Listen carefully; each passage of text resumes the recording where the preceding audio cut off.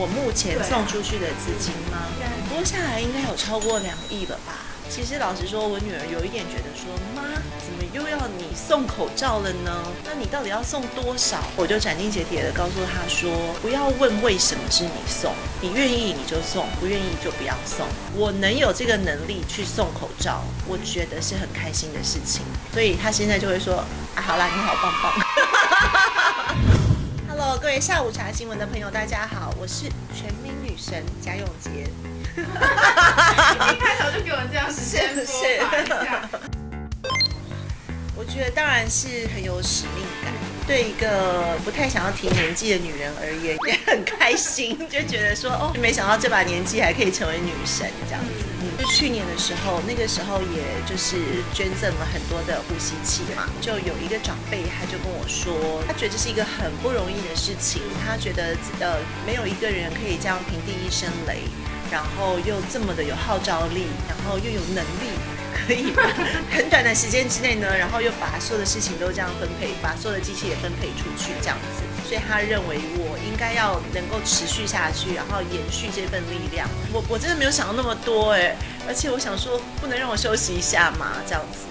但是我低头一看，然后那个长辈他就踩在云上面。没有啦。如果说我这样可以帮助更多的人，那其实我自己个人是蛮有兴趣的。你说我你我目前送出去的资金吗？拨下来应该有超过两亿了吧？哎，不对不对不对，一亿六是一定有。这一波比较少，老实说这一波的量没有需求量没有那么大，所以差不多一亿六是一定有的数字。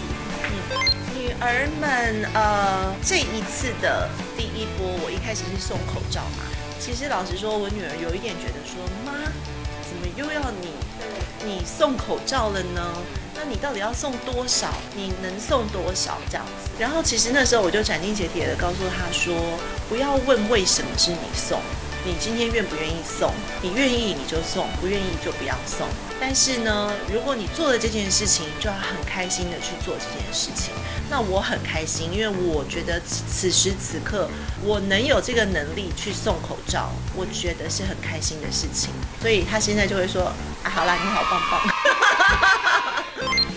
其实啊，老实说，我就是一个自我感觉很良好的人。对我真的自我感觉很良好，然后也很自在。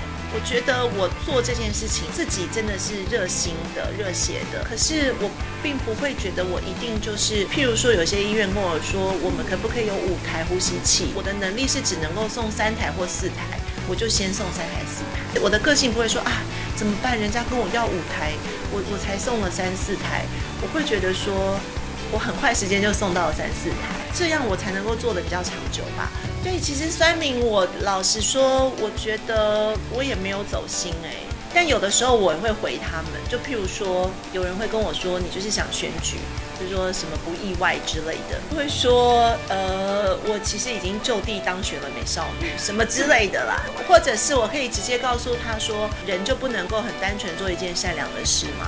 因为我不想要说让大家觉得说好像出来做好事就一定要被批评，我觉得这样子社会是生病的。然后我也想要让那些批评的人知道说，no，我们不是要来给你们批评。我希望有越来越多的人能够有不要小看自己的力量吧。其实我觉得我可以了解他在当下的，我觉得在这一波是因为我的小孩都比较大了。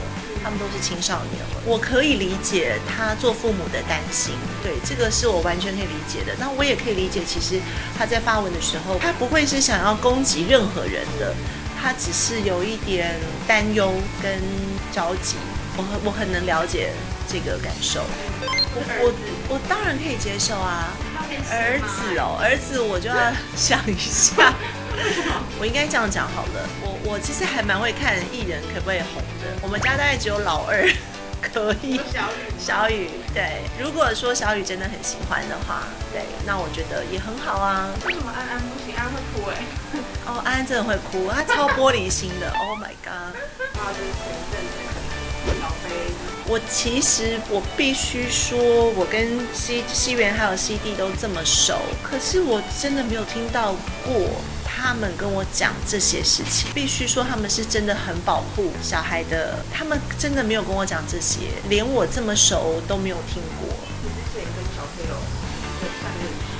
有见过几次啊？然后对于他的印象，可是我实在没有很熟哎、对，就就是来自对岸的一位先生。但其实我必须说，大 S 自己调试的很好啦，那自己的状态是很自在的。那 你有跟我爸吃到饭吗？有哎、真的？嗯那感受怎么样？真的是很开朗，眼睛里面都是爱心，看着大 S 这样，嗯，好浪漫哦。非常，你看了就是完全不会羡慕，只会嫉妒的那种。谢谢，谢谢。哎，要要那个帮我拍美一点。